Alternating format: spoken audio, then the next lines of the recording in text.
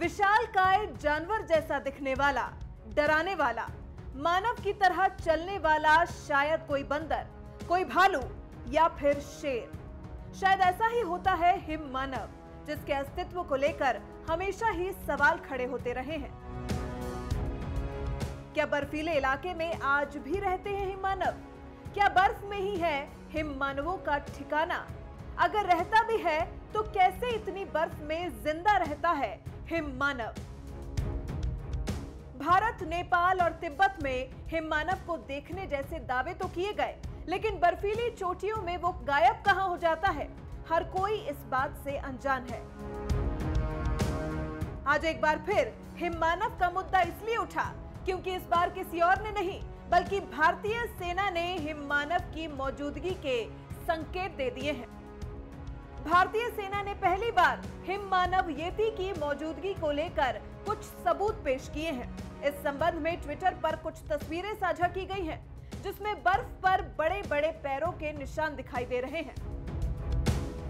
सेना के जन सूचना विभाग की तरफ़ से जो ट्वीट किया गया है उसमें तीन तस्वीरें हैं जिसके ज़रिए हिम मानव की मौजूदगी के सबूत पेश करने की कोशिश की गई है।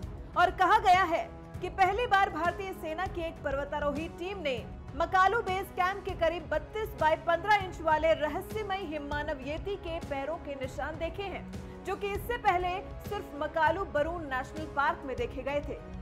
हिममानव के होने के पहली बार सबूत नहीं पेश किए गए हैं। इससे पहले भी कई लोगों ने हिममानव के होने के दावे किए हैं।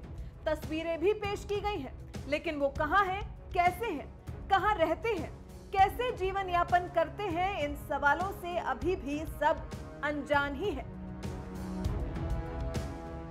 लेकिन अब जब भारतीय आर्मी ने ऐसे सबूत पेश किए हैं तो यह हमें सोचने पर मजबूर करता है कि क्या सच में हिम मानव जैसा कोई जीव पृथ्वी पर है, जो ना तो जानवर है और ना ही इंसान है।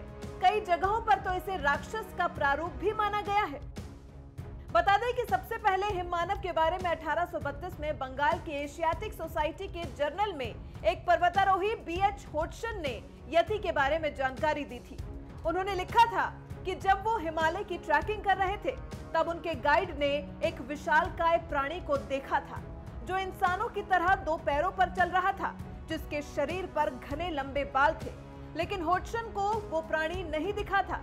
लेकिन उन्होंने इस घटना का ज़िक्र करते हुए उस जीव को यति नाम दिया था।